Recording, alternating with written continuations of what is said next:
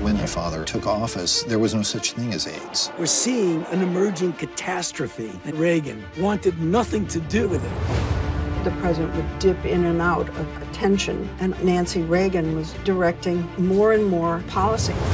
This is the man who has his hand on the nuclear button. This is how presidencies fall.